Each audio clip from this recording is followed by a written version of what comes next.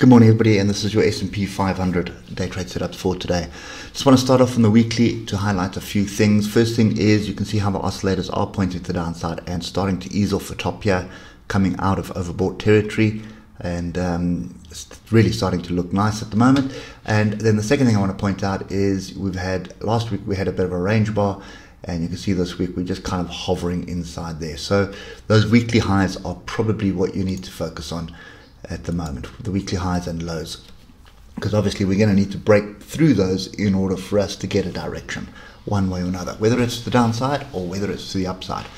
Uh, my gut says it's going to be to the upside. I mean, that's just what I can see. This is a buy the dip type market. It has been for so many years. I don't see anything that's going to change that right now. So, um, with all that being said, there's no real structure just yet. So um, looking at the moving averages, we've got a crossover, uh, three crossovers at the moment, and they're all pointing to the downside. Oscillators coming back to the downside. This trend line is intact, but look at the price action of yesterday, and you can see the two levels that I've got in at the moment. The first one that we definitely need to clear is 43.70. Uh, we need to hold above that uh, for this double bottom to play out, or triple bottom, should we say. At the moment, we are below that level and we're coming down to the next area, which is 43.28 or 43.29 actually. Um, let's just get down to the three hour. And you can see this week has been fairly, fairly difficult to trade. Um, nice strong move up early in the week. Looked like a break of the 51 of the 155. Looked for a retest of that to get long, and uh, that failed dramatically. So um, nothing else has come to well come in my radar anyway. So um, you can see these tails here rejecting moving averages here, also rejecting this 4371 area. So that's definitely an area we need to pay attention to. We're looking for a move above it. Now, remember, earnings season starts today. We have the Fed minutes later this afternoon. So remember, we had the Fed minutes um, last week, and uh, now we wait for the minutes. So really, for those new traders, a bit of a confusing setup. Uh, the Feds have their three-day meeting. They have a press conference afterwards to tell you what they spoke about. In the meeting, they, they release their meeting uh, notes, but then a week later they release their minutes, and now we wait for the minutes to see if there's anything that we missed.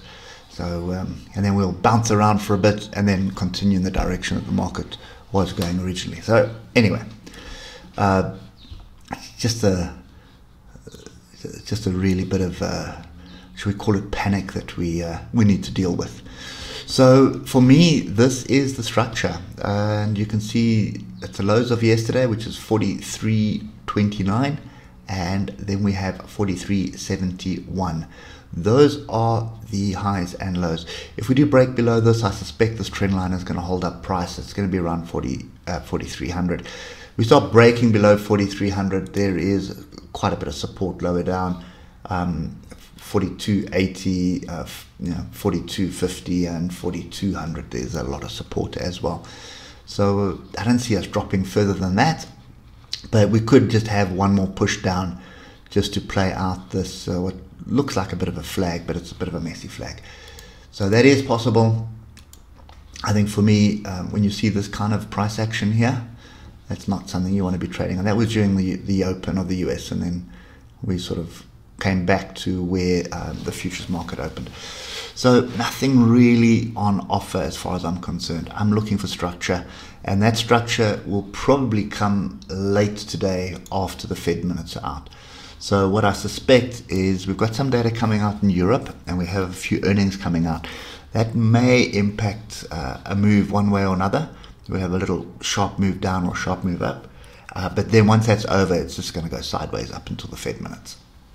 Don't see anything else happening. So, kind of expecting this price action here uh, for the Fed minutes, and then also bear in mind that we have CPI coming out today as well, and that'll be earlier. So that may also trigger a spike and then go back into a range as well.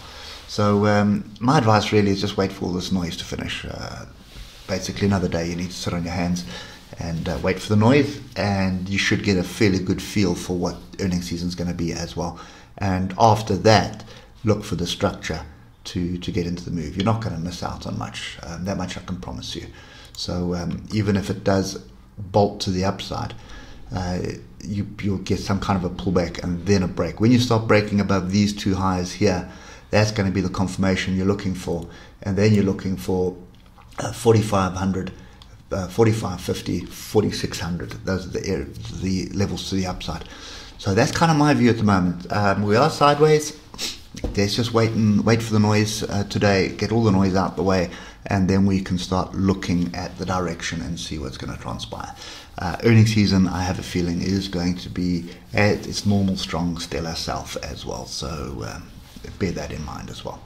Okay, uh, that's me for now anyway. Hope it helps, and we will catch up with you tomorrow morning. Cheers for now.